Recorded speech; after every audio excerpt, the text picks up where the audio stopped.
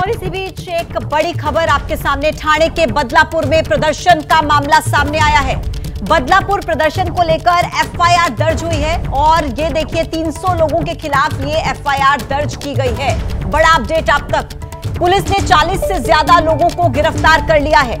थाने में स्कूल की दो बच्चियों के साथ जो यौन शोषण का मामला सामने आया, उसको लेकर लगातार बदलापुर में प्रदर्शन की तस्वीरें सामने आ रही हैं, जिसको लेकर अब एफआईआर दर्ज की गई है। 300 लोगों के खिलाफ एफआईआर दर्ज हुई है। 40 से ज़्यादा लोगों को पुलिस ने गिरफ़्तार कर लिया है। लगातार प्रदर्शन की तस्वीरें सामने आ रही हैं और आज गिरफ्त में जो लोग आए हैं, उनके कोर्ट में भी पेशी होनी है।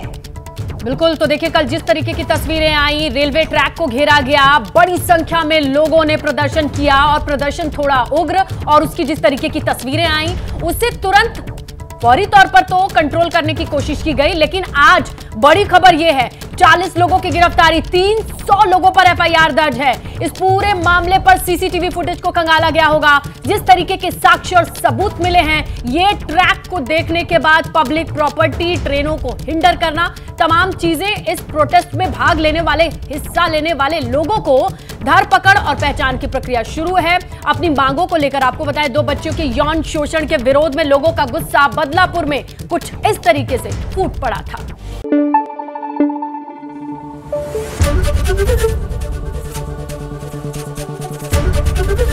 एबीपी न्यूज़ आपको रखे आगे।